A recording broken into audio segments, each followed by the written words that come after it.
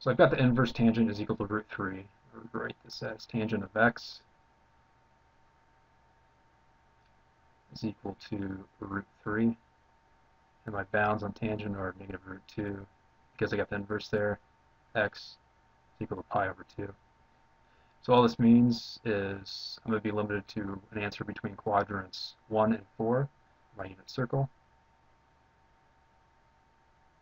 Alright, so it's root 3 over 1.